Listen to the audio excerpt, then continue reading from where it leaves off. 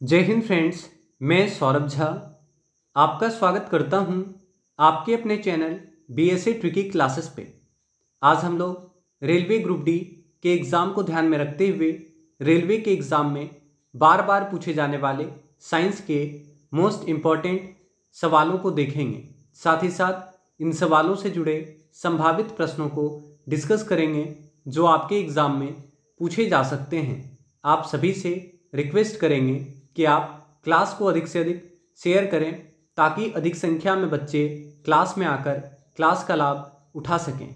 आप सभी से रिक्वेस्ट करेंगे कि आप क्लास में सारे सवालों के आंसर अवश्य किया करें और प्लीज़ क्लास को सपोर्ट कीजिएगा। तो चलिए शुरू करते हैं क्लास और देखते हैं हमारा पहला सवाल।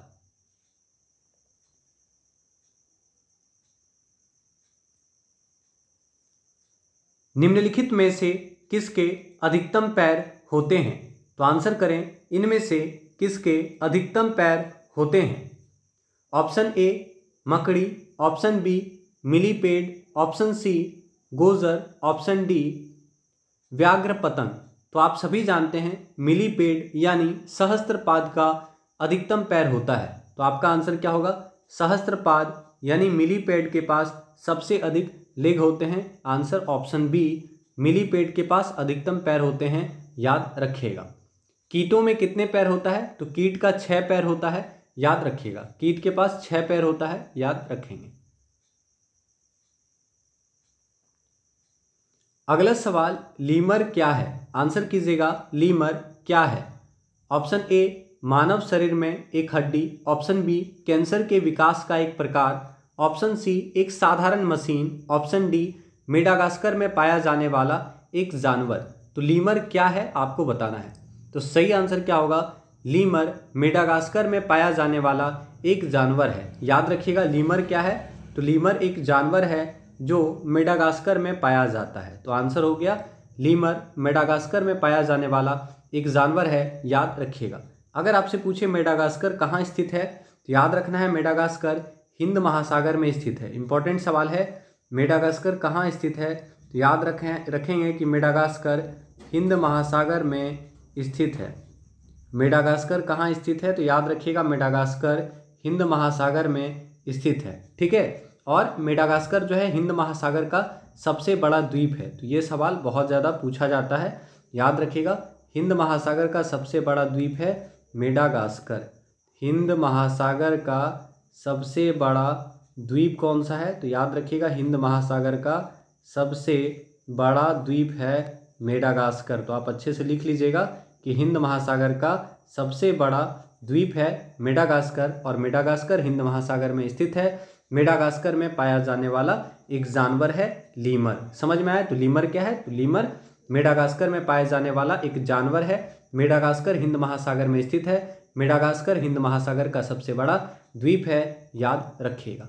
तो क्लास को प्लीज़ आप लोग सपोर्ट करें, क्लास को जोड़ें, ज़्यादा संख्या में क्लास को शेयर करें, ताकि ज़्यादा बच्चे क्लास में आ सकें। अगला सवाल, निम्नलिखित में से कौन सी प्रक्रिया कार्बन डाइऑक्साइड के वातावरण को हटाती है?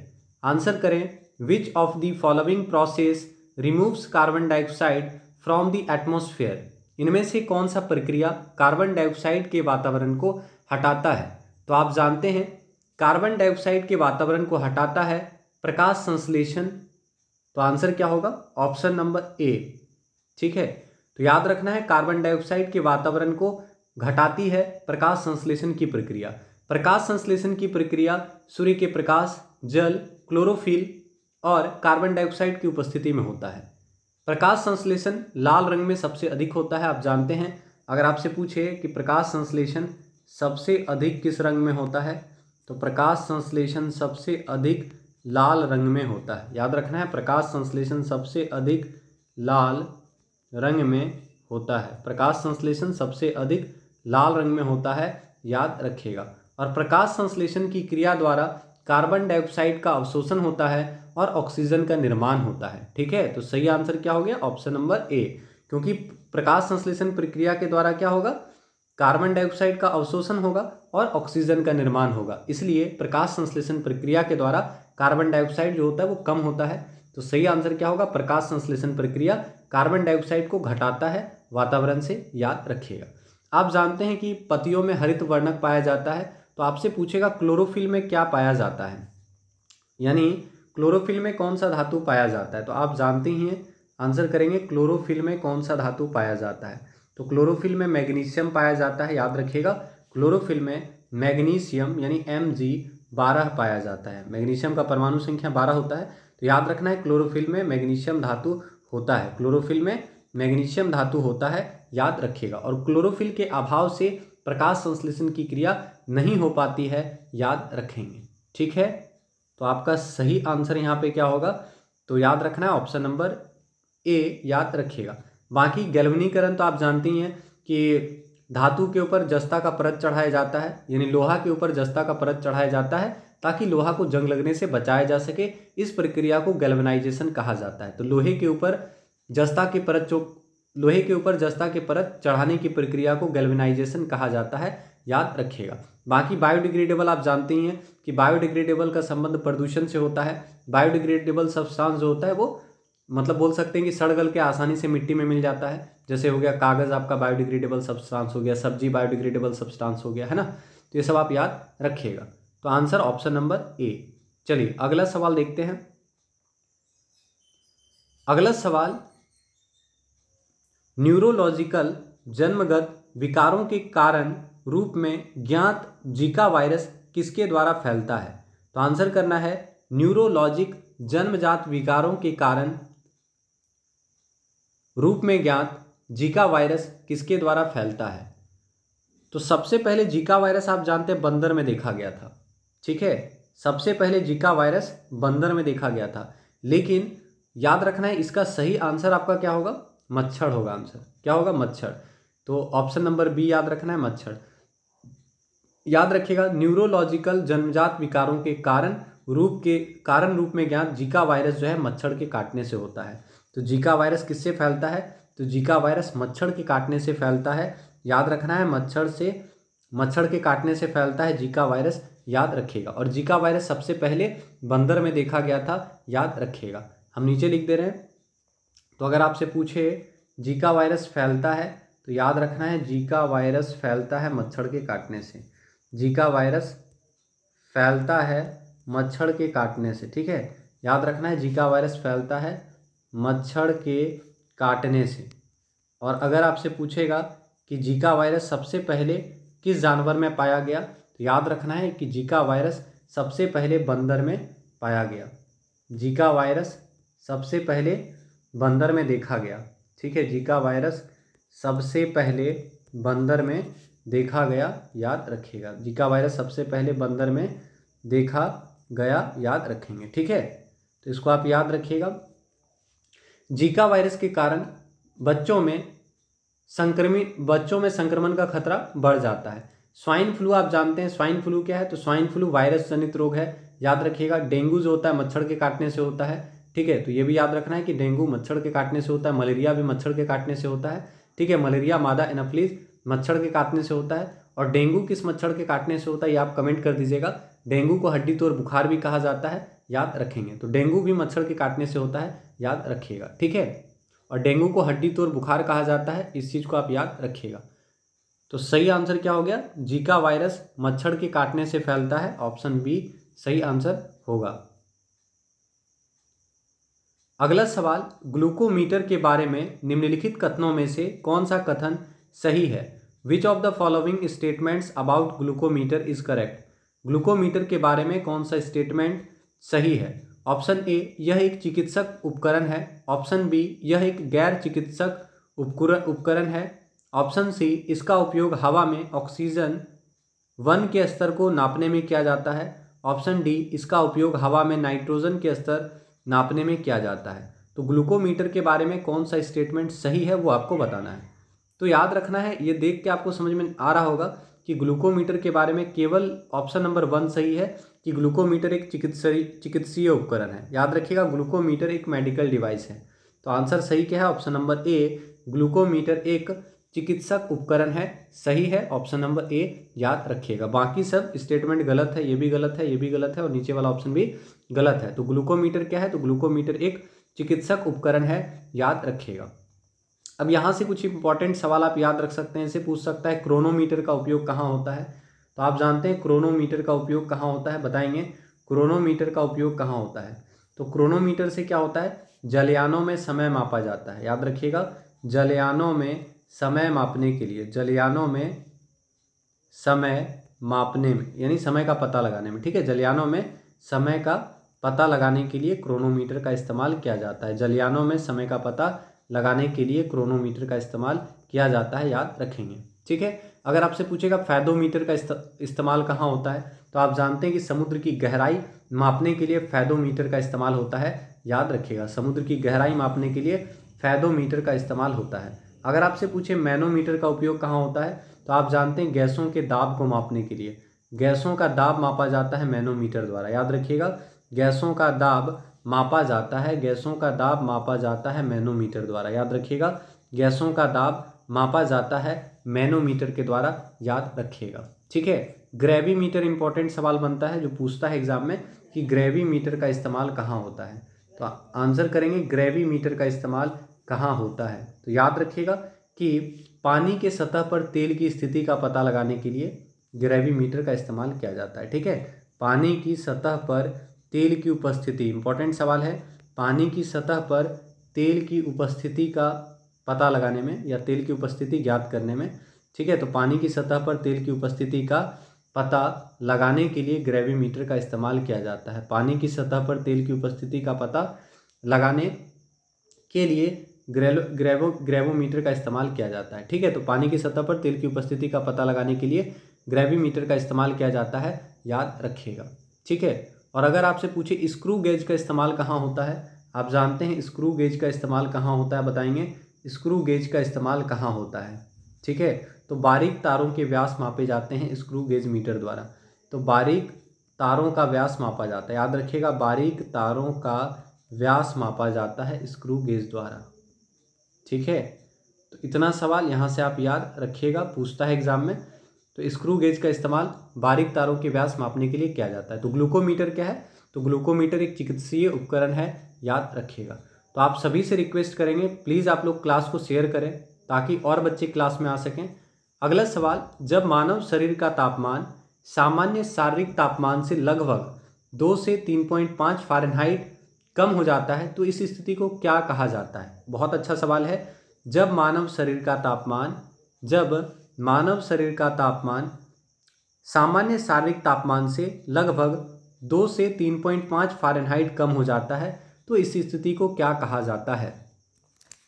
तो आंसर करें ऑप्शन ए, बुखार, option B, hypothermia, option C, hyperthermia, option D hyperpyrexia तो आंसर करें, याद रखना है, जब मानव शरीर का तापमान सामान्य शारीरिक तापमान से लगभग दो से तीन पॉइंट पाँच डिग्री फ़ारेनहाइट कम हो जाता है तो इस स्थिति को हाइपर थर्मिया कहते हैं। बहुत इंपॉर्टेंट सवाल है, याद रखना है, आंसर क्या होगा? हाइपोथर्मिया। क्या कहते हैं? हाइपोथर्मिया कहा जाता है। तो जब मानव शरीर का तापमान सामान्य शारीरिक तापमान से लगभग दो से दो, लगभग दो से तीन पॉइंट पाँच फारेनहाइट कम हो जाता है तो इस स्थिति को हाइपोथर्मिया कहा जाता है। याद रखेंगे। और इस स्थिति में मानव शरीर का क्रियाशीलता कम हो जाता है, याद रखेंगे। ठीक है? और ताप अगर बढ़ेगा तो उसको कहेंगे हाइपरथर्मिया ठीक है, ताप बढ़ेगा तो हाइपरथर्मिया ठीक है, ताप बढ़ने को क्या कहेंगे? हाइपरथर्मिया लेकिन पूछा क्या है? देखिए, ताप कम होता है तो कम होगा उसको बोलेंगे हाइपोथर्मिया ठीक है तो ताप कम होगा तो हाइपोथर्मिया ताप अधिक होगा तो हाइपरथर्मिया ठीक है, और अंठानवे पॉइंट छः डिग्री फ़ारेनहाइट से अधिक तापमान होता है तो वो बुखार कहलाएगा, है ना? यानी हमारे शरीर का औसत तापमान कितना होता है? सैंतीस डिग्री सेल्सियस।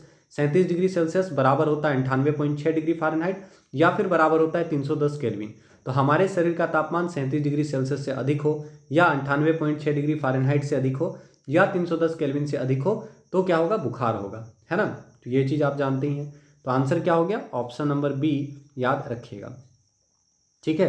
तो हाइपोथर्मिया आपका सही आंसर होगा, याद रखेंगे। अगला सवाल, बायोटेक्नोलॉजी मीन्स जैव प्रौद्योगिकी का अर्थ क्या होता है? तो आंसर करेंगे, जैव प्रौद्योगिकी का अर्थ क्या होता है? ऑप्शन ए, बैक्टीरिया का तकनीकी अध्ययन। ऑप्शन बी, शरीर में रसायनों का तकनीकी अध्ययन। ऑप्शन सी, मानव शरीर रचना, विज्ञान के क्षेत्र में तकनीक का इन्फ्यूज़न ऑप्शन डी, औद्योगिक प्रक्रियाओं में सजीवों का उपयोग। तो जैव प्रौद्योगिकी का तात्पर्य क्या होता है? ये आपको बताना है। तो यहाँ पे सही आंसर क्या होगा? जैव प्रौद्योगिकी, बायोटेक्नोलॉजी का तात्पर्य है औद्योगिक प्रक्रियाओं में सजीवों का उपयोग करना। ठीक है तो आंसर क्या होगा? याद रखना है, बायोटेक्नोलॉजी का अर्थ होता है औद्योगिक प्रक्रियाओं में सजीवों का उपयोग करना। ठीक है, बायोटेक्नोलॉजी का अर्थ है औद्योगिक प्रक्रियाओं में सजीवों का उपयोग करना। याद रखेगा आंसर ऑप्शन नंबर डी। अब यहाँ से इंपॉर्टेंट सवाल बनेगा।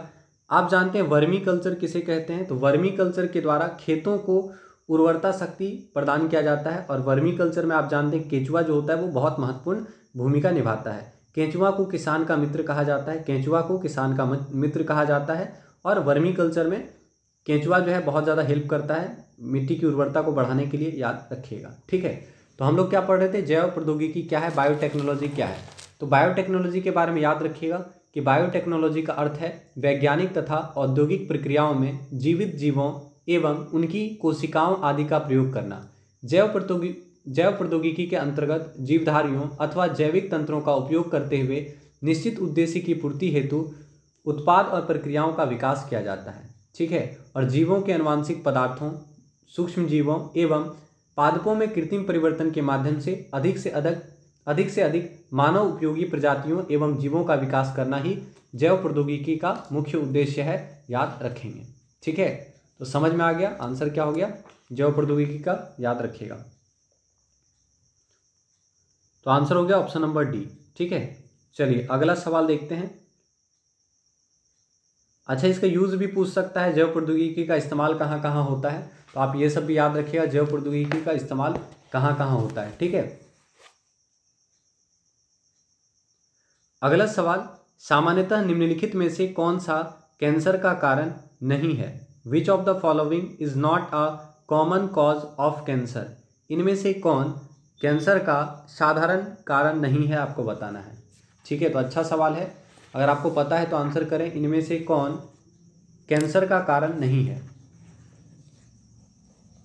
ऑप्शन ए पर्यावरणीय कारक। ऑप्शन बी अनुवांशिक उत्परिवर्तन। ऑप्शन सी अनुवांशिक संशोधन। ऑप्शन डी ट्रांसमिशन तो आंसर क्या होना चाहिए? तो आपका सही आंसर होगा सामान्यतः ट्रांसमिशन कैंसर का कारण नहीं है। याद रखिएगा, सामान्यतः ट्रांसमिशन कैंसर का कारण नहीं है। इसका मतलब पर्यावरणीय कारक से भी कैंसर हो सकता है, अनुवांशिक उत्परिवर्तन से कैंसर होता है, अनुवांशिक संशोधन से भी कैंसर होता है। ठीक है? यानी जीन म्यूटेशन से कैंसर होता है, जेनेटिक मॉडिफिकेशन से भी कैंसर होता है, यानी जेनेटिक म्यूटेशन और जेनेटिक मॉडिफिकेशन से कैंसर होता है। इसके अलावा एनवायरमेंटल फैक्टर से भी कैंसर हो सकता है। ठीक है? लेकिन ट्रांसमिशन से कैंसर नहीं होता है तो आपका आंसर हो गया ऑप्शन नंबर डी ठीक है? आप जानते हैं ओजोन परत के छह से पैराबैग्निक किरणें पृथ्वी पर आ जाता है, जिससे चमड़ा का कैंसर हो सकता है, ठीक है? समझ में आया? और कैंसर होता क्या है? तो आप जानते हैं कि सेल के अनियंत्रित वृद्धि से कैंसर होता है। याद रखिएगा, कोशिकाओं के अनियंत्रित वृद्धि से कैंसर होता है, ठीक है? तो इसको आप याद रखिएगा। अब यहाँ पे कुछ इंपॉर्टेंट सवाल आप याद रखिएगा, जैसे आपसे पूछ सकता है कि रेडियो सक्रिय समस्थानिक स्ट्रॉन्सियम नाइन्टी से कौन सा बीमारी हो सकता है? ठीक है? तो आप बताइएगा स्ट्रॉन्सियम नाइन्टी से कौन सा बीमारी हो सकता है? यानी स्ट्रॉन्सियम नाइन्टी से कौन सा बीमारी हो सकता है? अस्थि कैंसर हो जाता है। ठीक है? स्ट्रॉन्सियम नाइन्टी के संपर्क में आने से अस्थि कैंसर हो जाता है। ठीक है? स्ट्रॉन्सियम नाइन्टी के संपर्क में आने से अस्थि कैंसर होता है। याद रखिएगा। ठीक है? और आप जानते हैं, पानी में अगर कैडमियम मिल जाए, अधिक हो जाए तो उससे कौन सा बीमारी होता है? पानी में कैडमियम की अधिकता से कौन सा बीमारी होता है, बताएँगे। पानी में कैडमियम की अधिकता से कौन सा बीमारी होता है? इताई इताई। पानी में कैडमियम की अधिकता से इताई इताई। और पानी में पारा की अधिकता से कौन सा बीमारी होता है, बताएँगे। पानी में पारा की अधिकता से कौन कौन सा बीमारी होता है? तो पानी में कैडमियम की अधिकता से इताई इताई नामक बीमारी होता है। ठीक है? पानी में कैडमियम की अधिकता से इताई इताई बीमारी होता है और पानी में पारा की अधिकता से मिनिमाता रोग होता है। पानी में पारा की अधिकता से मिनीमाता रोग होता है। याद रखिएगा, पानी में पारा की अधिकता से मिनीमाता रोग होता है। कौन सा होता है? पानी में पारा की अधिकता से मिनीमाता रोग होता है। याद रखिएगा। ठीक है? चलिए, अगला सवाल देखते हैं। तो क्लास को प्लीज़ आप लोग सपोर्ट कीजिए। Osteoporosis is related to which disease? Answer करेंगे ऑस्टियोपोरोसिस किस रोग से संबंधित है? तो एकदम आसान सवाल है, ऑस्टियोपोरोसिस किस रोग से संबंधित है आपको बताना है। तो आप सभी जानते हैं ऑस्टियोपोरोसिस रोग हड्डी से संबंधित है। ऑस्टियोपोरोसिस रोग हड्डी से संबंधित है, आंसर हो गया ऑप्शन नंबर ए। और याद रखना है, ऑस्टियोपोरोसिस रोग वयस्कों को होता है। ठीक है, किसको होता है? वयस्कों को होता है। याद रखिएगा, ऑस्टियोप्रोसिस रोग वयस्कों को होता है। और ऑस्टियोप्रोसिस रोग में हड्डी क्या होता है? कमज़ोर हो जाता है। याद रखिएगा ऑस्टियोप्रोसिस बीमारी विटामिन डी की कमी से होती है। किससे होती है? विटामिन डी की कमी से, ठीक है? तो याद रखिएगा विटामिन डी का रासायनिक नाम कैल्सीफेरॉल होता है और विटामिन डी की कमी से ऑस्टियोफ्रो ऑस्टियोप्रोसिस नामक बीमारी होता है, जो वैस्को में होता है और इससे हड्डी कमज़ोर हो जाता है। याद रखेंगे। आप जानते हैं विटामिन डी का रासायनिक नाम कैल्सीफेरॉल है। विटामिन डी का स्रोत क्या है? तो आप जानते हैं कि मछली के यकृत तेल से भी विटामिन डी प्राप्त होता है, अंडे से भी विटामिन डी प्राप्त होता है। ठीक है, इसके अलावा आप जानते हैं सूर्य के प्रकाश में भी विटामिन, सूर्य के प्रकाश से भी विटामिन डी प्राप्त होता है। तो याद रखिएगा, विटामिन डी का स्रोत प्रातःकालीन सूर्य के प्रकाश भी हैं। इसके अलावा मछली, यकृत तेल, विटामिन डी का मुख्य स्रोत है, याद रखिएगा। और विटामिन डी की कमी से बच्चों में रिकेट्स, यानी सूखा रोग होता है। विटामिन डी की कमी से बच्चों में रिकेट्स, यानी सूखा रोग होता है, याद रखिएगा। तो ऑस्टियोपोरोसिस हड्डी से संबंधित बीमारी है, याद रखेंगे। अगला सवाल O T C O T C दवा क्रोसिन एक डैश दवा है। तो आंसर करेंगे ओ टी सी दवा क्रोसिन किस प्रकार की दवा है? ठीक है? ओ टी सी दवा क्रोसिन एक डैश दवा है। तो याद रखना है ओटीसी दवा क्रोसिन एक दर्दनाशक एवं ज्वरनाशक दवा है। इसका मतलब है, आंसर होगा, एनाल्जेसिक एंड एंटीपायरेटिक दवा है क्रोसिन। तो याद रखिएगा ओटीसी दवा क्रोसिन एक एनाल्जेसिक और एंटीपायरेटिक दवा है। तो क्रोसिन किस प्रकार की दवा है? तो याद रखिएगा, क्रोसिन दर्द निवारक और ज्वरनाशी दवा है। Answer option C. ठीक है? आप जानते हैं कि मानव शरीर का तापमान सैंतीस डिग्री सेल्सियस या अंठानवे पॉइंट छः डिग्री फ़ारेनहाइट से या 310 केल्विन से अधिक होने पर हम लोग कहते हैं कि बुखार हो गया है। ऐसे मानव के शरीर का तापमान बढ़ने के कारण सेल में पानी की कमी होने लगता है। ठीक है? पानी का कमी होने लगता है अगर बुखार ज़्यादा हो जाए तो शरीर का जो सेल होता है उसमें पानी का कमी होने लगता है। और अगर 102 से 103 फ़ारेनहाइट से अधिक अगर बुखार हो जाए तो व्यक्ति, आप जानते हैं कि व्यक्ति का मृत्यु भी हो सकता है। मतलब हमारे शरीर का औसत तापमान अंठानवे पॉइंट छः डिग्री फ़ारेनहाइट होता है। लेकिन अगर बुखार इतना ज़्यादा हो जाए कि शरीर का तापमान 102 या 103 से ज़्यादा हो जाए 103 फ़ारेनहाइट से ज़्यादा हो जाए तो उस सिचुएशन में मृत्यु भी हो सकता है। ठीक है? तो ओटीसी दवा क्रोसिन, किस प्रकार का दवा है? तो ओ दवा क्रोसिन एनाल्जेसिक और एंटीपायरेटिक दवा है। ऑप्शन नंबर सी याद रखिएगा। अगला सवाल oncology is associated with the treatment of which disease answer करेंगे ऑन्कोलॉजी किस बीमारी के उपचार से जुड़ा है? तो अच्छा सवाल है ऑन्कोलॉजी किस बीमारी के उपचार से जुड़ा है? एकदम आसान सवाल है। आप जानते हैं ऑन्कोलॉजी कैंसर बीमारी के उपचार से जुड़ा है है ना? ऑन्कोलॉजी किस बीमारी के उपचार से जुड़ा है? तो याद रखना है ऑन्कोलॉजी कैंसर बीमारी के उपचार से जुड़ा है। आंसर हो गया ऑप्शन नंबर सी कैंसर के उपचार को ऑन्कोलॉजी कहा जाता है ना? तो कैंसर बीमारी के उपचार से जुड़ा है ऑन्कोलॉजी याद रखिएगा। ठीक है? अब यहाँ से अच्छा सवाल बनता है और भी। जैसे आपसे पूछ सकता है, ध्यान दीजिएगा पोमोलॉजी में किसका अध्ययन किया जाता है? पोमोलॉजी में किसका अध्ययन किया जाता है? आप जानते हैं पोमोलॉजी में फलों का अध्ययन। पूछेगा पोमोलॉजी में क्या किया जाता है? फल का अध्ययन। फल का अध्ययन किया जाता है, फलों का अध्ययन किया जाता है पोमोलॉजी फलों का अध्ययन क्या कहलाता है? तो याद रखना है, फलों का अध्ययन कहलाता है पोमोलॉजी फलों का अध्ययन कहलाता है। दांत के अध्ययन को क्या कहते हैं आप जानते हैं? दांत के अध्ययन को क्या कहा जाता है?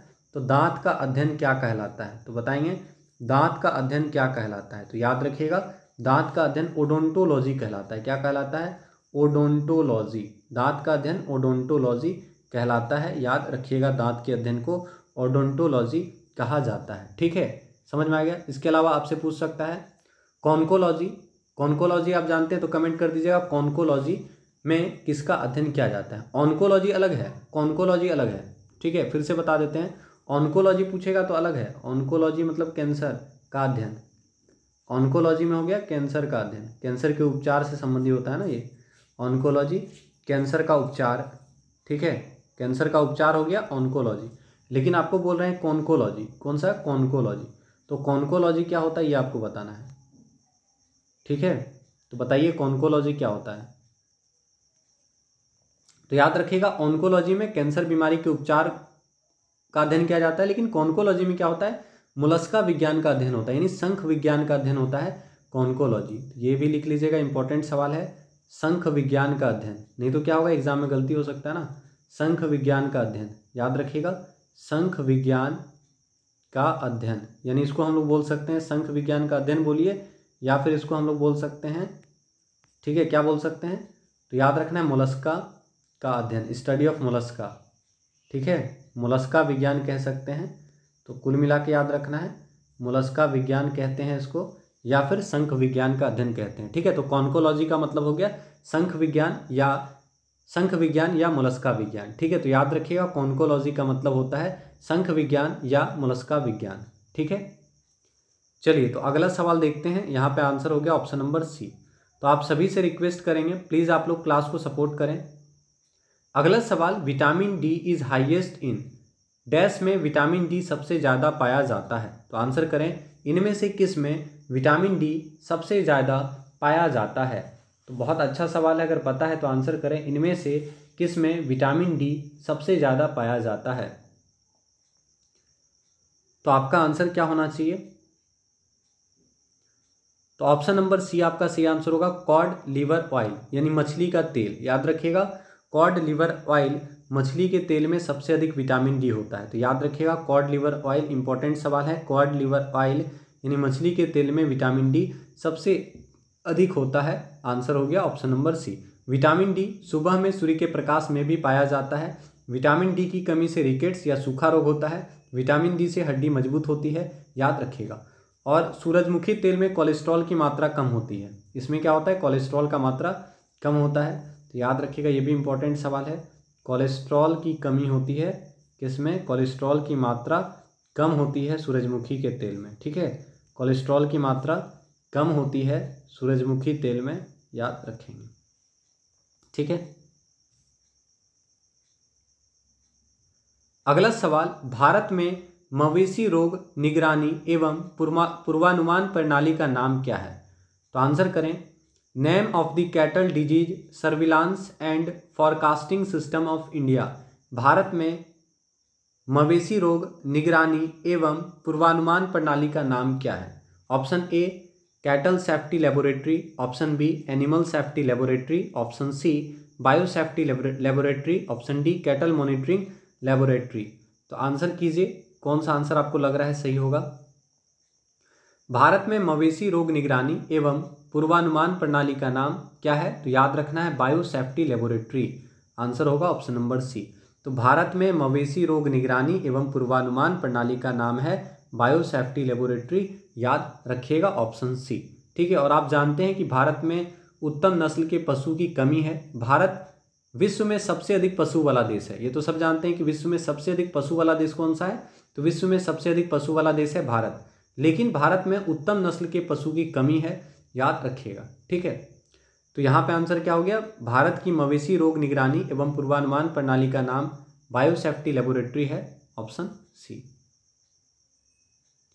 अगला सवाल, पादप विज्ञान में किसका अध्ययन किया जाता है? तो आंसर कीजिएगा, पादप विज्ञान के तहत किसका अध्ययन किया जाता है? तो बहुत ही आसान सवाल है, ठीक है? प्लांट विज्ञान के तहत किसका अध्ययन किया जाता है? फाइटोलॉजी के तहत किसका अध्ययन किया जाता है?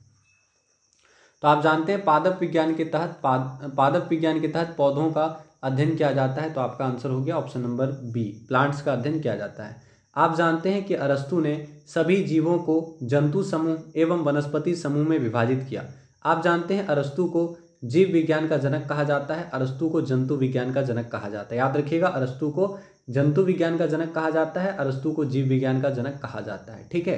तो पादप विज्ञान में पौधों का अध्ययन किया जाता है, ऑप्शन नंबर बी। अब यहाँ से कुछ इंपॉर्टेंट सवाल आप याद रखिए, जो आपके एग्ज़ाम में पूछ सकता है, ठीक है? आपसे पूछ सकता है थियोफ्रेस्टस को क्या कहा जाता है? आप जानते हैं थियोफ्रेस्टस को क्या कहा जाता है? बताएँगे। थियोफ्रेस्टस को क्या कहा जाता है? वनस्पति विज्ञान का जनक कहा जाता है थियोफ्रेस्टस को, ठीक है? तो याद रखना है, वनस्पति विज्ञान का जनक कहा जाता है थियोफ्रेस्टस को। क्या कहा जाता है? वनस्पति विज्ञान का जनक। तो वनस्पति विज्ञान का जनक किनको कहा जाता है? तो याद रखिएगा थियोफ्रेस्टस को वनस्पति विज्ञान का जनक कहा जाता है, ठीक है? इसके अलावा आपको बताना है सैवाल के अध्ययन को क्या कहा जाता है? आप जानते हैं सैवाल के अध्ययन को क्या कहा जाता है? तो बताएँगे सैवाल का अध्ययन क्या कहलाता है? तो आप जानते हैं फाइकोलॉजी, ठीक है? सैवाल के अध्ययन को क्या कहा जाता है? फाइकोलॉजी, याद रखिएगा। सैवाल के अध्ययन को कहा जाता है, फाइकोलॉजी, याद रखिएगा। और कवक के अध्ययन को क्या कहा जाता है? तो आप जानते हैं कवक के अध्ययन को माइकोलॉजी कहा जाता है। ठीक है सैवाल के अध्ययन को फाइकोलॉजी कहा जाता है और कवक के अध्ययन को माइकोलॉजी कहा जाता है, याद रखिएगा। अब कुछ इंपॉर्टेंट सवाल लिखिए, जो आपके एग्ज़ाम में जनरली पूछा जाता है। जैसे आपसे पूछ सकता है सार्कोलॉजी ठीक है सार्कोलॉजी क्या होता है? ये आपको पता है तो बताएँगे थोड़ा सा इंपॉर्टेंट सवाल है सार्कोलॉजी क्या होता है? पता है सार्कोलॉजी क्या होता है? पेशियों के अध्ययन को कहा जाता है सार्कोलॉजी लिखते चलिएगा।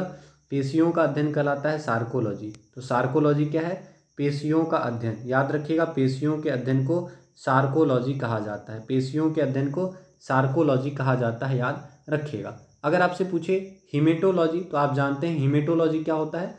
तो रुधिर एवं रुधिर रोगों का अध्ययन हिमेटोलॉजी कहलाता है, याद रखिएगा। ऑस्टियोलॉजी क्या होता है? तो हड्डियों के अध्ययन को ऑस्टियोलॉजी कहा जाता है। तो कंकाल तंत्र का अध्ययन या अस्थि विज्ञान ऑस्टियोलॉजी कहलाता है। आस, आसान है ऑस्टियोलॉजी मतलब अस्थि विज्ञान ठीक है? ओडोंटोलॉजी मतलब दांत का अध्ययन ओडोंटोलॉजी होता है ठीक है? दांत का अध्ययन क्या होता है? ओडोंटोलॉजी होता है दांत का अध्ययन याद रखिएगा ठीक है? आपको बताना है कैरियोलॉजी क्या होता है? कैरियोलॉजी किसे कहा जाता है ठीक है? कैरियोलॉजी किसे कहा जाता है आपको पता है? कैरियोलॉजी किसे कहा जाता है? केंद्रक का अध्ययन केंद्रक के अध्ययन को कहा जाता है कैरियोलॉजी ठीक है? तो इंपॉर्टेंट सवाल है केंद्रक का अध्ययन। केंद्रक के अध्ययन को क्या कहा जाता है? याद रखिएगा, केंद्रक के अध्ययन को कहा जाता है, हिंदी में लिखते हैं कैरियोलॉजी। क्या कहा जाता है? कैरियोलॉजी। याद रखिएगा, कैरियोलॉजी कहा जाता है, केंद्रक के अध्ययन को कैरियोलॉजी। ठीक है? तो केंद्रक का अध्ययन कहलाता है कैरियोलॉजी। याद रखिएगा। अगर आपसे पूछे, अंतःस्रावी तंत्र का अध्ययन क्या कहलाता है? तो याद रखना है, एंडोक्रिनोलॉजी। एंडोक्राइनोलॉजी बोलेंगे अच्छा रहेगा। एंडोक्राइनोलॉजी मतलब अंतःस्रावी तंत्र का अध्ययन। ठीक है? इसको आप याद रख लीजिएगा। ठीक है? तो यहाँ से ये सब याद रखना है। इसके अलावा कुछ इंपॉर्टेंट सवाल टेक्सोनोमी तो आप जानती हैं टेक्सोनोमी मतलब क्या होता है? तो जीवों के जातियों का नामांकन एवं वर्गीकरण, यानी वर्गीकरी, वर्गीकी का अध्ययन कहा जाता है। टेक्सोनोमी को याद रखिएगा। ठीक है? इसके अलावा आपसे पूछ सकता है, आपसे पूछ सकता है पैथोलॉजी क्या होता है? तो आप जानते हैं रोगों की प्रकृति, रोगों की प्रकृति, लक्षण और कारणों का अध्ययन क्या कहलाता है? पैथोलॉजी कहलाता है। याद रखिएगा। ठीक है? इसके अलावा आपसे पूछ सकता है, एंटोमोलॉजी किसे कहा जाता है? तो आप जानते हैं, एंटोमोलॉजी बहुत पूछता है ये सवाल। तो कीटों का अध्ययन कहलाता है एंटोमोलॉजी, है ना? तो एंटोमोलॉजी क्या होता है? कीट शास्त्र यानी कीटों के अध्ययन को कहा जाता है एंटोमोलॉजी। कीटों के अध्ययन को कहा जाता है एंटोमोलॉजी, याद रखिएगा। इक्थियोलॉजी क्या होता है? तो मछलियों के अध्ययन को कहा जाता है इक्थियोलॉजी। तो मछलियों और मछली पालन का अध्ययन इक्थियोलॉजी कहलाता है। याद रखिएगा। इंपॉर्टेंट बनता है क्या? हरपेटोलॉजी ये इंपॉर्टेंट बनेगा हरपेटोलॉजी क्या होता है? तो बताइएगा हरपेटोलॉजी के अंतर्गत किसका अध्ययन किया जाता है? तो याद रखना ये सवाल कि सरीसृपों का अध्ययन किया जाता है। सरीसृप सरीसृप मतलब हो गया रेप्टाइल तो सरीसृप और एम्फीबियन मतलब उभयचर सरीसृप और उभयचर का अध्ययन किया जाता है हर्पेटोलॉजी के अंतर्गत। ठीक है? तो याद रखिएगा हर्पेटोलॉजी क्या हो गया? उभयचर और उभयचर और सरीसृपों का अध्ययन हर्पेटोलॉजी कहलाता है। समझ में आ गया? तो याद रखना है कि रेप्टाइल्स और एम्फीबियन का अध्ययन हर्पेटोलॉजी कहलाता है, यानी इसको हिंदी में हम लोग बोलते हैं सरीसृप विज्ञान। क्या बोलते हैं हर्पेटोलॉजी? मतलब सरीसृप विज्ञान याद रखिएगा। और निथोलॉजी मतलब क्या होता है? पक्षियों का अध्ययन। पक्षियों के अध्ययन को ऑर्निथोलॉजी कहा जाता है। याद रखिएगा। ठीक है? अगर आपसे पूछे एंथ्रोपोलॉजी, ये भी बहुत ज़्यादा पूछा जाता है, एंथ्रोपोलॉजी। तो आपको आंसर करना है, एंथ्रोपोलॉजी में किसका अध्ययन किया जाता है? ठीक है? थोड़ा सा इंपॉर्टेंट है तो थोड़ा सा रिविज़न आपको करवा देते हैं। थोड़ा सा पैसेंस रखिएगा। मानव जाति के सांस्कृतिक विकास का अध्ययन। मानव जाति के सांस्कृतिक विकास का अध्ययन क्या कहलाता है? एंथ्रोपोलॉजी ठीक है, मानव जाति के सांस्कृतिक विकास का अध्ययन एंथ्रोपोलॉजी कहलाता है। याद रखिएगा, मानव जाति के सांस्कृतिक विकास का अध्ययन एंथ्रोपोलॉजी कहलाता है। याद रखिएगा। ठीक है, इसके अलावा आपसे पूछ सकता ऑफियोलॉजी ऑफियोलॉजी में किसका अध्ययन होता है? तो आप जानते हैं, अगर सांप किसी व्यक्ति को काट ले तो वो क्या होगा? ऑफ़ हो जाएगा। इसका मतलब ऑफियोलॉजी मतलब क्या? सांप का अध्ययन। समझ में आया? ऑफियोलॉजी पूछेगा। तो ऑफियोलॉजी मतलब याद रखना है। ऑफियोलॉजी मतलब होता है सर्प विज्ञान ठीक है, क्या होता है? सर्प विज्ञान सांपों के अध्ययन को कहा जाता है ऑफियोलॉजी। ठीक है, सांप काट ले तो व्यक्ति क्या होगा? ऑफ़ हो जाएगा।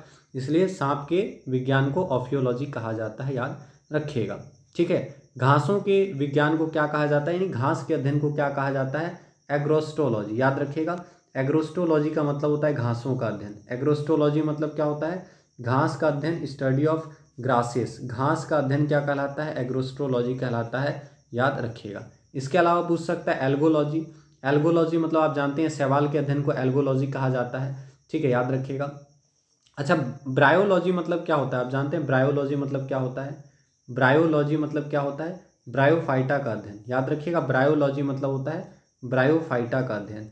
ठीक है? तो ब्रायोफाइटा का अध्ययन क्या होता है? ब्रायोलॉजी तो कुछ सवाल तो आपको पता ही होगा, लेकिन कुछ ऐसा भी सवाल होगा जो आपको पता नहीं होगा तो उसको आप नोट कीजिए।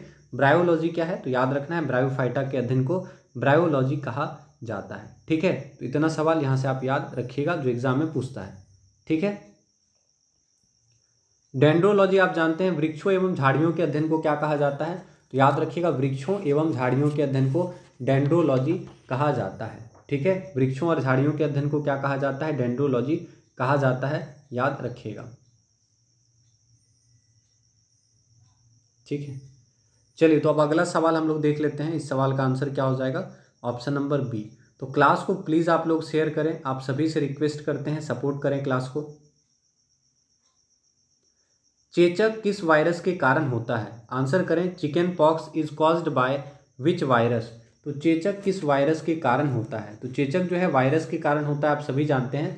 तो चेचक किस वायरस के कारण होता है? चेचक वेरिसेला वायरस के कारण होता है। आंसर हो गया ऑप्शन नंबर बी। चेचक वेरिसेला वायरस के कारण होता है। याद रखिएगा, चेचक रोग संपूर्ण शरीर को प्रभावित करता है और अगर किसी व्यक्ति को चेचक हो जाए तो इसमें क्या होता है? बहुत ज़्यादा बुखार होता है, यानी तेज़ बुखार होता है और साथ ही साथ शरीर पर लाल लाल दाना आ जाता है। तो याद रखिएगा, चेचक वेरिसेला वायरस से होता है।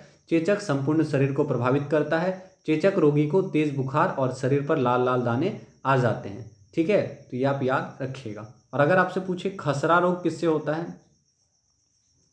खसरा रोग किससे होता है? तो खसरा रोग जो होता है, मोरबिली वायरस से होता है।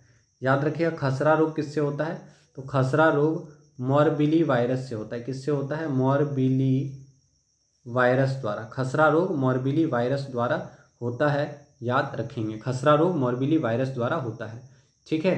तो इतना सवाल आप याद रखिए। और छोटी माता अगर पूछ दे, छोटी माता बीमारी जो है वो किससे होता है? तो वेरिसेला वायरस से होता है। छोटी माता, याद रखिएगा। ठीक है?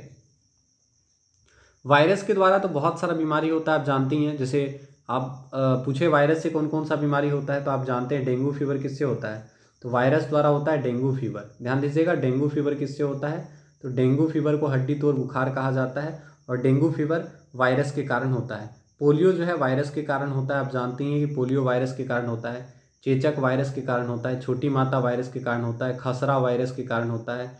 ठीक है तो ये सब आप याद रखिएगा। हरपीज वायरस के कारण होता है। ट्रैकोमा वायरस के कारण होता है। ट्रैकोमा से सवाल पूछता है कि ट्रैकोमा जो है किस भाग को प्रभावित करता है? तो ट्रैकोमा आँख को प्रभावित करता है। याद रखिएगा। रेबीज जो है रेबीज भी वायरस के कारण होता है और रेबीज आप जानते हैं कि तंत्रिका तंत्र को प्रभावित करता है रेबीज ठीक है तो ये, यहाँ से आपको ये चीज़ याद रखना है कि कौन सा बीमारी वायरस से होता है, कौन सा बीमारी प्रोटोजोआ से होता है, कौन सा बीमारी बैक्टीरिया से होता है, कौन सा बीमारी फंगस से होता है, फिर कौन से शरीर के पार्ट को प्रभावित करता है। जैसे, समझ में आया? क्योंकि इंपॉर्टेंट बनता है, जैसे ट्रैकोमा किस भाग को प्रभावित करता है? आँख, है ना?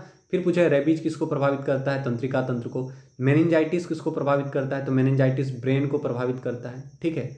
और क्या होता है कभी कभी उसका नाम भी पूछ सकता है जैसे हड्डी तोड़ बुखार किसे कहा जाता है? तो आपको याद रखना होगा कि डेंगू फीवर को हड्डी तोड़ बुखार कहा जाता है ठीक? इसके अलावा कौन सा बीमारी जो है कि, किस बीमारी का वाहक मच्छर है किस बीमारी का वाहक मक्खी है ये भी आपको याद करना है एग्ज़ाम में पूछता है ठीक है? चलिए तो अगला सवाल हम लोग देखते हैं। क्लास को प्लीज़ आप लोग सपोर्ट करें। कीमोथेरेपी किस रोग के उपचार के लिए दी जाती है? आंसर करेंगे, chemotherapy is given for the treatment of which disease तो आप जानते हैं कीमोथेरेपी कैंसर रोग के उपचार के लिए दी जाती है। तो याद रखिएगा, कीमोथेरेपी कैंसर रोग के उपचार के लिए दी जाती है। कीमोथेरेपी कैंसर रोगी के लिए बहुत लाभदायक उपचार है, याद रखिएगा। याद रखना है इलेक्ट्रिक शॉट लगाकर रोगग्रस्त सेल को नष्ट करने का प्रयास किया जाता है कीमोथेरेपी के तहत। ठीक है? कैंसर होता कैसे है? तो आप जानते हैं कि कोशिकाओं के अनियंत्रित वृद्धि के कारण कैंसर होता है, ठीक है? अनियंत्रित, कोशिकाओं के अनियंत्रित ग्रोथ के कारण कैंसर होता है और कीमोथेरेपी प्रक्रिया के द्वारा कैंसर का उपचार किया जाता है। आंसर ऑप्शन सी, याद रखिएगा। ठीक है? चलिए तो अगला सवाल देखते हैं। Answer option C. अगला सवाल, मगरमच्छ के बच्चे को क्या कहा जाता है? What is a baby crocodile called important सवाल है, क्योंकि इस तरह का सवाल पूछता है एग्ज़ाम में, और हम लोग या तो छोड़ के आते हैं या गलती करके आते हैं ना? तो इंपॉर्टेंट सवाल है, मगरमच्छ के बच्चे को क्या कहा जाता है? तो बताएँगे मगरमच्छ के बच्चे को क्या कहा जाता है? तो मगरमच्छ के बच्चे को हैचलिंग कहा जाता है। याद रखना है, मगरमच्छ के बच्चे को हैचलिंग कहा जाता है। आंसर हो गया ऑप्शन नंबर डी मगरमच्छ के बच्चे को हैचलिंग कहा जाता है। और आप जानते हैं कि मगरमच्छ जो है किस वर्ग में आता है? तो मगरमच्छ मगरमच्छ रेप्टिलिया के अंतर्गत आता है। है ना? रेप्टाइल के अंतर्गत आता है, सरीसृप वर्ग में आता है, याद रखना है, मगरमच्छ रेप्टाइल वर्ग में आता है। ठीक है? मगरमच्छ रेप्टाइल वर्ग का उदाहरण हो गया, याद रखिएगा। और रेप्टाइल वर्ग में और भी कुछ जीव आता है, जैसे पूछ सकता है ना, इनमें से कौन सरीसृप वर्ग में आता है रेप्टाइल वर्ग में आता है तो याद रखिएगा छिपकली। छिपकली जो होता है, ये रेप्टीलिया वर्ग के अंतर्गत आता है, छिपकली रेप्टीलिया वर्ग के अंतर्गत आता है, सांप रेप्टीलिया वर्ग के अंतर्गत आता है, कछुआ रेप्टीलिया वर्ग के अंतर्गत आता है, ठीक है? घरियाल रेप घरियाल जो है ये भी रेप्टीलिया वर्ग के अंतर्गत आता है। याद रखिएगा, ठीक है? तो याद रखना है, मगरमच्छ के बच्चे को हैचलिंग कहा जाता है। मगरमच्छ रेप्टाइल का प्राणी है और रेप्टाइल का उदाहरण में याद रखना है, छिपकली, सांप, कछुआ, घड़ियाल और मगरमच्छ, ठीक है? ये हो गया। और आप जानते हैं कि, याद रखना है कि सरीसृप वर्ग के प्राणी जो है किससे सांस लेते हैं? तो सरीसृप वर्ग का जो प्राणी होगा, ये सांस किससे लेता है? आपसे पूछ सकता है। तो आपको याद रखना है, सरीसृप वर्ग के प्राणी फेफड़ों से सांस लेते हैं। किससे सांस लेता है ये? फेफड़ा से। तो मगरमच्छ किससे सांस लेगा? लंग से सांस लेगा, फेफड़ा से सांस लेगा। समझ में आया? तो ये बहुत इंपॉर्टेंट सवाल है। फेफड़ों द्वारा सांस लेते हैं। याद रखिएगा, फेफड़ों द्वारा श्वसन लेते हैं रेप्टाइल ठीक है? तो रेप्टीलिया जो होता है, चाहे पूछे छिपकली का तो छिपकली किससे सांस लेगा? तो याद रखना है फेफड़ा द्वारा। ठीक है? तो रेप्टीलिया वर्ग के प्राणी फेफड़ों से सांस लेते हैं। याद रखिएगा। और रेप्टीलिया वर्ग के प्राणी का दो जोड़ा पैर होता है, याद रखिएगा। रेप्टीलिया वर्ग के प्राणी का दो जोड़ा पाद होता है, याद रखिएगा। ठीक है? चलिए तो अब अगला सवाल हम लोग देख लें। आंसर हो गया ऑप्शन नंबर डी। अच्छा अगर आपसे पूछे, संसार का सबसे जहरीला सांप कौन सा है? आपको पता है, संसार का सबसे जहरीला सांप। पता है, बताइएगा, संसार का सबसे जहरीला सांप। संसार का सबसे जहरीला सांप। तो समुद्र में जो सांप होता है ना, वो काफ़ी ज़्यादा जहरीला होता है। जनरली समुद्र का सांप जो होता है, वो जहरीला जहरीला ज़्यादा होता है। संसार का सबसे जहरीला सांप। तो एक जगह ये भी सवाल पूछा गया था कि समुद्र का जो सांप होता है, वो पृथ्वी पे रहने वाला मतलब ज़मीन पे रहने वाले सांप की अपेक्षा समुद्र का सांप जो होता है, वो थोड़ा ज़्यादा जहरीला होता है। ये चीज़ याद रखिएगा। संसार का सबसे जहरीला सांप कौन सा है? तो याद रखना, ये कि जहरीला सांप है, सबसे ज़्यादा जहरीला ये समुद्री सांप है। समुद्री सांप जो होता है वो थोड़ा ज़्यादा जहरीला होता है। समुद्री सांप है। समुद्री सांप इसका नाम क्या? हाइड्रोफिस। ठीक है, याद रखिएगा हाइड्रोफिश ठीक है तो हाइड्रोफिश याद रखना है। ठीक है, ये क्या है? समुद्री सांप है। तो एग्ज़ाम में यही पूछेगा कि हाइड्रोफिश किस प्रकार का सांप है? तो हाइड्रोफिस क्या है? तो हाइड्रोफिस एक समुद्री सांप है, जो कि संसार का सबसे जहरीला सांप है। ठीक है तो इस चीज़ को आप याद रखिएगा। आंसर, ठीक है? तो समझ में आ गया मगरमच्छ के बच्चे को क्या कहा जाता है? हैचलिंग ऑप्शन नंबर डी अगला सवाल, जब मानव शरीर के तापमान में, शरीर के सामान्य तापमान से लगभग पाँच पॉइंट चार फारेनहाइट से आठ डिग्री फारेनहाइट की कमी होती है तो इस स्थिति को किस रूप में जाना जाता है? ठीक है तो आंसर पता है तो आंसर करेंगे। जब मानव शरीर के तापमान में शरीर के सामान्य तापमान से लगभग पाँच पॉइंट चार डिग्री फ़ारेनहाइट से आठ डिग्री फ़ारेनहाइट की कमी होती है तो इस स्थिति को क्या कहा जाता है?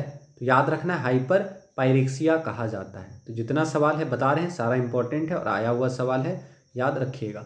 ठीक है? तो हाइपर पायरिक्सिया आंसर होगा ऑप्शन नंबर डी। ठीक है? याद रखना है, जब मानव शरीर के तापमान में, शरीर के सामान्य तापमान से लगभग पाँच पॉइंट चार डिग्री फ़ारेनहाइट से आठ डिग्री फ़ारेनहाइट की कमी होती है तो इस स्थिति को हाइपर पायरिक्सिया कहा जाता है।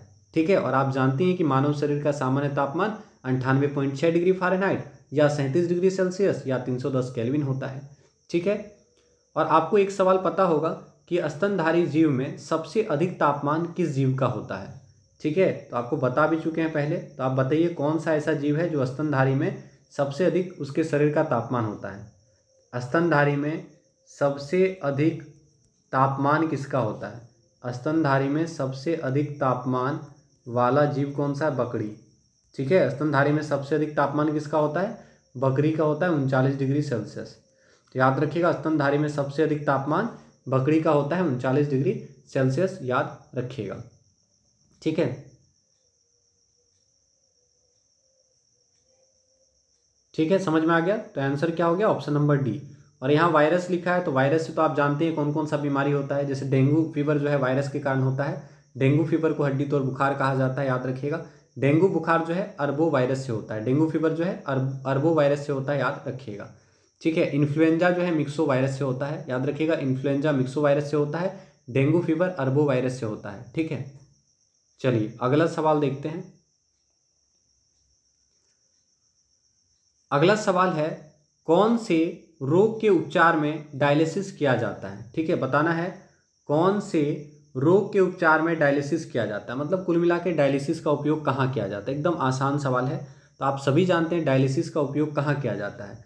तो गुर्दे की खराबी के उपचार में डायलिसिस का इस्तेमाल किया जाता है। गुर्दा मतलब क्या होता है? गुर्दा मतलब क्या होता है बताइएगा? तो गुर्दा की खराबी, याद रखिएगा, गुर्दा की खराबी में डायलिसिस का उपयोग किया जाता है। ठीक है गुर्दे की खराबी अगर हो जाती है तो उसको ठीक करने के लिए डायलिसिस का उपयोग किया जाता है। आप जानते हैं कि गुर्दे की खराबी की स्थिति में रक्त का ठीक ढंग से साफ़ नहीं हो पाता है मतलब अगर गुर्दा खराब हो जाए तो उससे ब्लड सही ढंग से साफ़ नहीं हो पाएगा, जिस कारण से रोगी के रक्त रुधिर में ऑक्सीजन पहुँचने में कठिनाई होती है और शुद्ध रक्त की कमी होने लगती है और इसी को दूर करने के लिए डायलिसिस का उपयोग किया जाता है। ठीक है? तो समझ में आ गया, गुर्दे की खराबी को ठीक करने के लिए डायलिसिस का इस्तेमाल किया जाता है। ऑप्शन नंबर सी आपका सही आंसर होगा। ठीक है? और गठिया बीमारी आप जानते हैं कि अगर यूरिक एसिड शरीर में ज़्यादा हो जाता है, बहुत ज़्यादा हो जाता है तो उस स्थिति में गठिया रोग हो जाता है, ज्वाइंट्स में दर्द देना शुरू कर देता है और बहुत ख़राब बीमारी है गठिया, क्योंकि इसमें क्या होता है, हड्डियों की जोड़ में मतलब बहुत ज़्यादा दर्द करता है, पेन करता है। ठीक है? तो गठिया या आर्थरिटीज़ बीमारी क्या होता है, शरीर की हड्डियों की जोड़ों में दर्द होता है, गठिया बीमारी में याद रखिएगा। इसको आर्थरिटीज़ भी कहा जाता है। ठीक है? तो याद रखिए, और एस्टिगमेटिज्म देखिए क्या होता है? एस्टिगमेटिज्म आँखों से संबंधित बीमारी है, आप जानते ही। हैं एस्टिगमेटिज्म मतलब अबिंदुकता, और एस्टिगमेटिज्म को दूर करने के लिए बेलनाकार लेंस का इस्तेमाल किया जाता है। पढ़े उन्हें ठीक है? निकट दृष्टि दोष, दूर दृष्टि दोष पढ़े हैं ना? तो उसी में यहाँ पे हम लोग एस्टिगमेटिज्म के बारे में भी पढ़ते हैं, ठीक है? तो एस्टिगमेटिज्म को दूर करने के लिए बेलना कार लेंस का इस्तेमाल होता है। याद रखिएगा एस्टिगमेटिज्म आँखों से संबंधित बीमारी है, और एस्टिगमेटिज्म को दूर करने के लिए बेलनाकार लेंस का उपयोग किया जाता है। ठीक है? तो एस्टिगमेटिज्म को दूर करने के लिए बेलनाकार लेंस का उपयोग होता है। याद रखिएगा। ठीक है? तो आंसर क्या हो गया? गुर्दे की खराबी को दूर करने के लिए डायलिसिस अगला सवाल, मानव शरीर में कंठ को क्या कहा जाता है? In the human body what is the throat called तो आंसर करेंगे, मानव शरीर में कंठ को क्या कहा जाता है? अच्छा सवाल है। अगर पता है आंसर तो करेंगे। मानव शरीर में कंठ को क्या कहा जाता है? तो मानव शरीर में कंठ को वॉइस बॉक्स कहा जाता है। क्या कहा जाता है? मानव शरीर में कंठ को वॉइस बॉक्स कहा जाता है। आंसर ऑप्शन नंबर सी अगला सवाल a person with A B blood group A B रक्त वर्ग वाला व्यक्ति ऑप्शन ए ए बी और रक्त वर्ग वाले लोगों को रक्तदान कर सकता है। ऑप्शन सी सार्वभौमिक रक्तदाता कहलाता है। ऑप्शन बी सार्वभौमिक सार्वभौमिक रक्तदाता कहलाता है ऑप्शन सी किसी भी वर्ग से रक्त ले सकता है ऑप्शन डी न तो एक सार्वभौमिक प्राप्त करता है और न ही एक सार्वभौमिक दाता है। तो ऑप्शन ठीक से पढ़िए और अच्छा से आंसर कीजिए कि क्या क्वेश्चन कह रहा है। तो क्वेश्चन कह रहा है ए बी ब्लड ग्रुप वाला जो व्यक्ति है ठीक है उसके बाद ऑप्शन दिया है चार इसमें से कौन सा स्टेटमेंट सही होगा? तो आप जानते हैं ए बी ब्लड ग्रुप वाला जो व्यक्ति होता है उसको हम लोग क्या कह, कह, क्या कहते हैं? तो ए बी रक्त वर्ग वाला व्यक्ति जो है वो सभी वर्ग से ब्लड ले सकता है। ले सकता है कि नहीं? सबसे ले सकता है। तो आंसर क्या होगा? ऑप्शन नंबर सी होगा आपका आंसर क्योंकि ए बी ब्लड ग्रुप वाले व्यक्ति को सर्वग्राही कहा जाता है। तो आपका सही आंसर क्या होगा? ठीक है? ऑप्शन सिर्फ़ इतना बड़ा दे दिया है, लेकिन क्वेश्चन आसान है। क्योंकि आप जानते हैं ए बी ब्लड ग्रुप वाले व्यक्ति को क्या कहा जाता है? सर्वग्राही कहा जाता है। क्या कहते हैं हम लोग? सर्वग्राही कहा जाता है। सर्वग्राही इसका मतलब कि सभी से ब्लड ले सकता है। तो can take blood from any class तो किसी भी वर्ग से रक्त ले सकता है ए बी ब्लड ग्रुप वाला व्यक्ति, क्योंकि ए बी ब्लड ग्रुप वाला व्यक्ति सर्वग्राही होता है, याद रखिएगा। ठीक है? और ओ ब्लड ग्रुप जो होता है ओ निगेटिव ब्लड ग्रुप इसको हम लोग क्या कहते हैं? यूनिवर्सल डोनर कहते हैं। तो आप जानते हैं ओ ब्लड ग्रुप को क्या कहा जाता है? तो याद रखना है ओ ब्लड ग्रुप को यूनिवर्सल डोनर कहा जाता है। यानी सर्वदाता कहा जाता है, सर्वदाता कहा जाता है ओ निगेटिव को याद रखिएगा। ठीक है? तो इसको आप याद रखिएगा। अच्छा और एक सवाल ये भी पूछता है ना कभी कभी कि किसमें एंटीजन पाया जाता है, किसमें एंटीबॉडी किसमें एंटीजन नहीं पाया जाता है, किसमें एंटीबॉडी नहीं पाया जाता है। तो याद रखिएगा ए बी जो ब्लड ग्रुप है, ठीक है ए बी ब्लड ग्रुप में क्या नहीं पाया जाता है? पूरा लिख दें, ऐसे भी समझ में आ जाएगा, ये ब्लड ग्रुप है, ठीक है, ये क्या है? ब्लड ग्रुप तो ए बी ब्लड ग्रुप में क्या नहीं पाया जाता है? पूछेगा तो याद रखना है ए बी ब्लड ग्रुप में एंटीबॉडी नहीं पाया जाता है। याद रखिएगा ए बी ब्लड ग्रुप में एंटीबॉडी नहीं पाया जाता है। पूछेगा, क्या नहीं पाया जाता है ए बी ब्लड ग्रुप में? तो ए बी ब्लड ग्रुप में एंटीबॉडी नहीं होता है, याद रखिएगा। और दूसरा याद रखिएगा, ओ ब्लड ग्रुप। तो ओ ब्लड ग्रुप में क्या नहीं पाया जाता है तो एंटीजन नहीं पाया जाता है। समझ में आया? तो ओ ब्लड ग्रुप में अच्छे से आप लिख लीजिएगा। ये परमाणु का स्ट्रक्चर लग रहा है, लेकिन आप याद रखिएगा, ये ब्लड ग्रुप का बात कर रहे हैं हम लोग, ठीक है? O blood group. तो ओ ब्लड ग्रुप में क्या नहीं पाया जाता है तो याद रखिएगा, ओ ब्लड ग्रुप में एंटीजन नहीं पाया जाता है, ठीक है? तो ओ ब्लड ग्रुप में एंटीजन नहीं पाया जाता है और ए बी ब्लड ग्रुप में एंटीबॉडी नहीं पाया जाता है, याद रखेंगे। ठीक है? और आपको पता है एंटीजन में कौन सा प्रोटीन पाया जाता है? पूछता है ये भी सवाल कि एंटीजन में कौन सा प्रोटीन पाया जाता है? तो एंटीजन में ग्लाइको प्रोटीन पाया जाता है। कौन सा प्रोटीन पाया जाता है? ग्लाइको एंटीजन में ग्लाइको प्रोटीन पाया जाता है। तो याद रखना है एंटीजन में ग्लाइको प्रोटीन पाया जाता है। एंटीजन में ग्लाइको प्रोटीन पाया जाता है, याद रखिएगा, एंटीजन में ग्लाइको प्रोटीन पाया जाता है, ठीक है? चलिए, अगला सवाल देखते हैं। आप सभी से फिर से रिक्वेस्ट करेंगे, प्लीज़ आप लोग ऐसे सुस्त नहीं पढ़िए प्लीज़ क्लास को सपोर्ट कीजिए। जो बच्चे क्लास को लाइक नहीं किए हैं, एक बार लाइक कर दीजिएगा। अगला सवाल, भ्रूण के मस्तिष्क को नुकसान पहुँचाने वाला जिका वायरस डैश द्वारा वहन होता है, ठीक है? तो मस्तिष्क को नुकसान पहुंचाता है जीका वायरस आप जानते हैं। तो आंसर करेंगे भ्रूण के मस्तिष्क को नुकसान पहुँचाने वाला जिका वायरस का वहन कौन करता है? तो आप जानते हैं जीका वायरस मच्छर के कारण फैलता है मच्छरों के काटने से फैलता है। तो याद रखिएगा भ्रूण के मस्तिष्क को नुकसान पहुँचाने वाला जीका वायरस मच्छर के कारण फैलता है।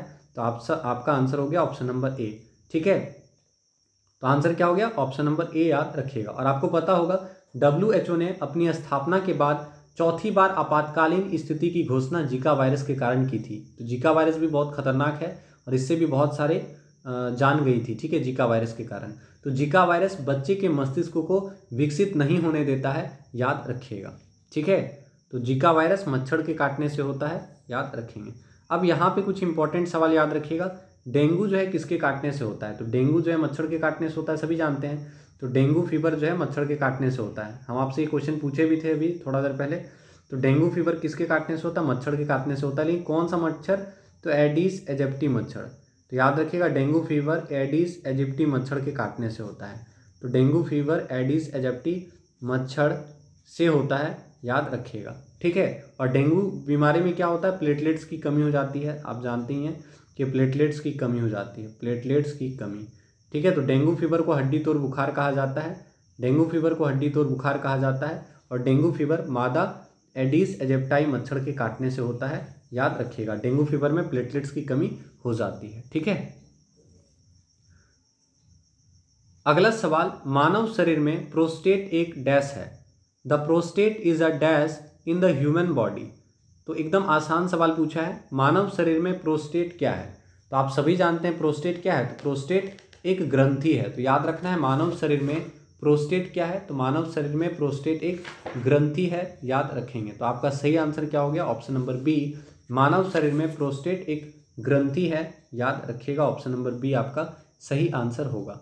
ठीक है, आप जानते हैं कि ग्रंथि जो होता है वो दो प्रकार का होता है। एक अंतस्रावी ग्रंथि और एक बाह्य मतलब ऐसे ग्रंथि जो होगा वो तीन तरह का होगा। अंतस्रावी ग्रंथि जो होता है वो तीन तरह का होता है। ठीक है मतलब ग्रंथि जनरली तीन तरह का होता है एंडोक्राइन ग्लैंड होता है एक्जोक्राइन ग्लैंड होता है और मिक्सड मिक्सड ग्लैंड होता है। मिक्सड ग्लैंड मतलब मिश्रित ग्रंथि होता है, ठीक है? तो इसको भी आप लोग पढ़िएगा। तो यहाँ से याद रखना है कि मानव शरीर में प्रोस्टेट क्या है? तो प्रोस्टेट एक ग्रंथि है, याद रखिएगा। अंतस्रावी ग्रंथि क्या होता है? तो ऐसी ग्रंथियाँ जो ये इंपॉर्टेंट पूछता है, अंतस्रावी ग्रंथि या एंडोक्राइन ग्लैंड क्या होता है? तो याद रखना है, ऐसी ग्रंथियाँ जो हार्मोन को ब्लड के प्लाज्मा के माध्यम से शरीर के अलग अलग भागों तक पहुंचाता है तथा जिनमें वाहि, वाहिकाएँ अनुपस्थित होता है, उसे हम लोग अंतस्रावी ग्रंथि कहते हैं। ठीक है? या फिर अंतस्रावी ग्रंथि को नलिका विहीन ग्रंथि भी कहा जाता है, याद रखिएगा। जैसे पीयूष ग्रंथि पैराथायराइड ग्रंथि थायराइड ग्रंथि, ये जो है अंतस्रावी ग्रंथि के अंतर्गत आता है। ठीक है? तो पीयूष ग्रंथि अंतस्रावी ग्रंथि है पैराथायराइड ग्रंथि अंतस्रावी ग्रंथि है थायराइड ग्रंथि अंतस्रावी ग्रंथि है, याद रखिएगा। और बहिर्स्रावी ग्रंथि क्या होता है? तो ऐसी ग्रंथियाँ एंजाइम को शरीर के विभिन्न अंगों तक वाहिकाओं की सहायता से पहुंचाते हैं। इस कारण बाह्य बाह्यस्रावी ग्रंथि को नलिका युक्त ग्रंथि कहा जाता है, जैसे लार ग्रंथि और पाचन ग्रंथि आपका बहिर्स्रावी या एक्जोक्राइन ग्लैंड का उदाहरण होता है।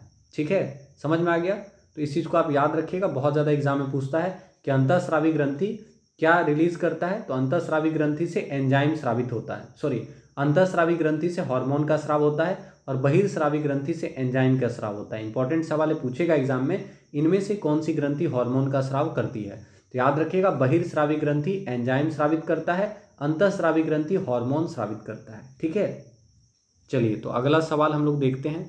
बाकी आपको रेगुलर रहना होगा। रेगुलर रहेंगे तो ही आपको ज़्यादा फ़ायदा होगा। ठीक है? सबसे पहले डीएनए को अलग किसने किया था? Who was the first to isolate DNA सबसे पहले डीएनए को अलग किनके द्वारा किया गया था? आपको बताना है। ठीक है? तो सबसे पहले डीएनए को अलग किया था फेडरिक मिएचर ने। याद रखिएगा, सबसे पहले डीएनए को अलग किया था फेडरिक मिएचर ने। ठीक है? डीएनए की अधिकांश मात्रा कहाँ होती है?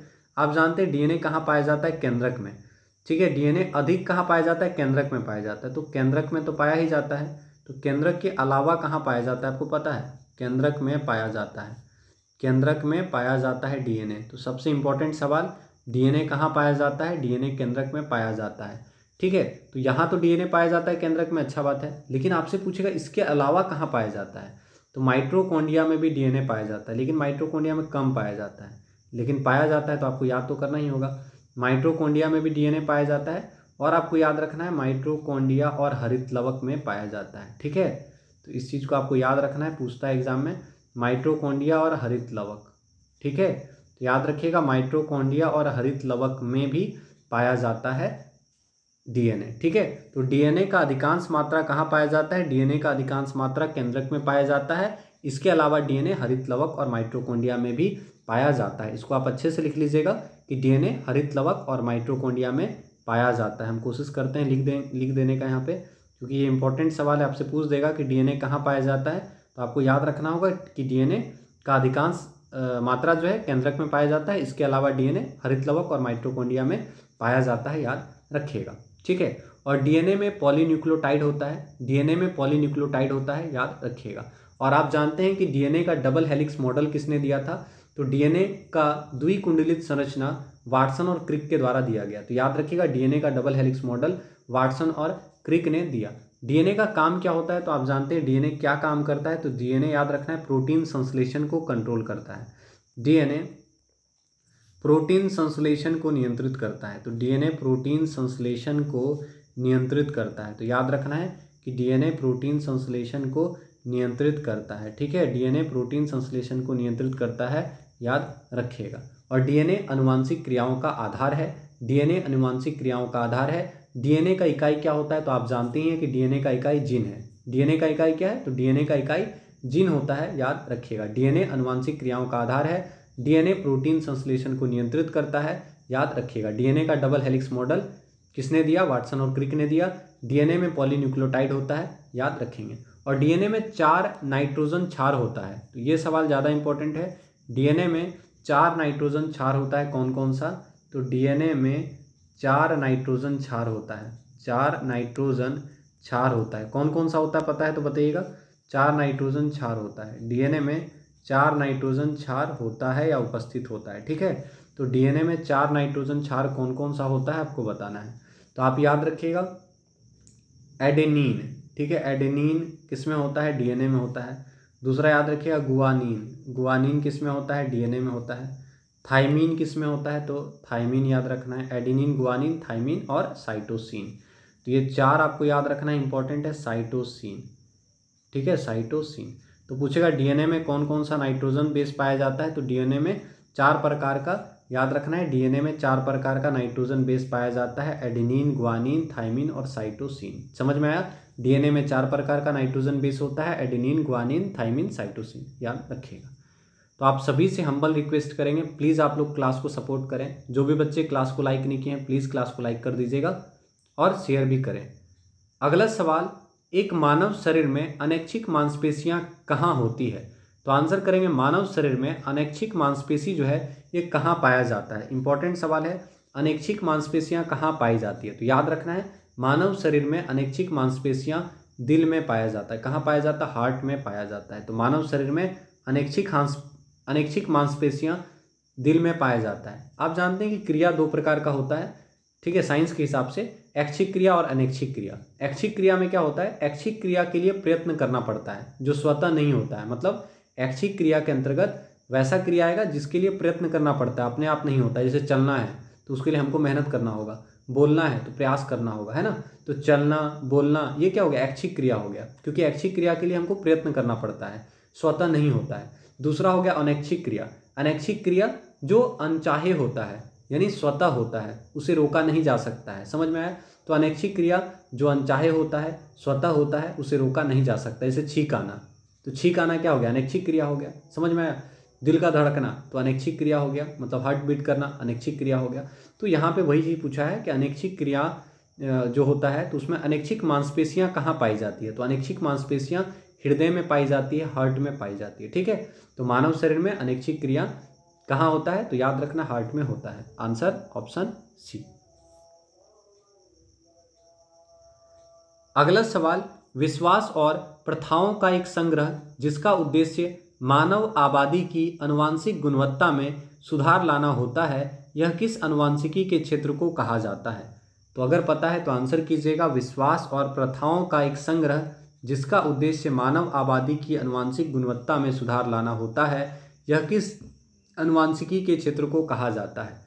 तो आपका आंसर क्या होना चाहिए? याद रखना है, विश्वास और प्रथाओं का एक ऐसा संग्रह, जिसका उद्देश्य मानव आबादी की अनुवांशिक गुणवत्ता में सुधार लाना होता है। यह अनुवांशिकी के क्षेत्र यूजनिक्स कहलाते हैं। क्या कहलाते हैं? यूजनिक्स कहलाते हैं। तो आंसर होगा ऑप्शन नंबर डी यूजनिक्स याद रखिएगा। ठीक है? तो विश्वास और प्रथाओं का एक संग्रह, जिसका उद्देश्य मानव आबादी की अनुवांशिक गुणवत्ता में सुधार लाना होता है।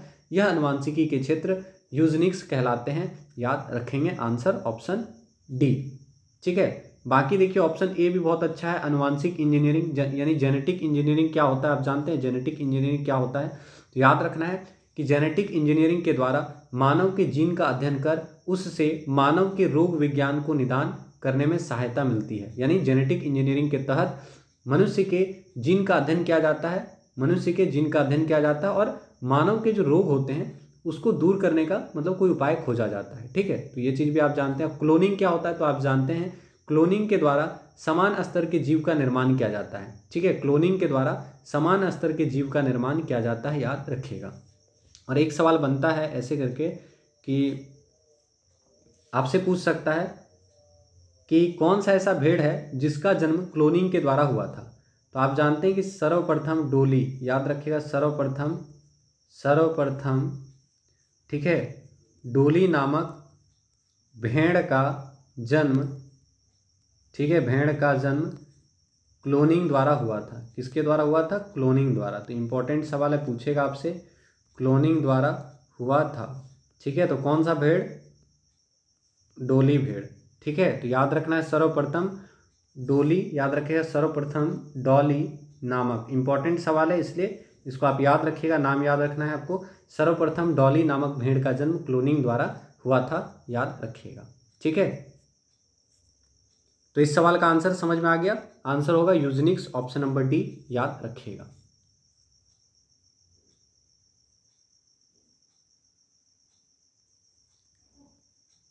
तो इतना ही सवाल था। आप सभी से हम्बल रिक्वेस्ट करेंगे कि प्लीज़ क्लास अच्छा लगा हो तो प्लीज़ क्लास को सपोर्ट कीजिएगा।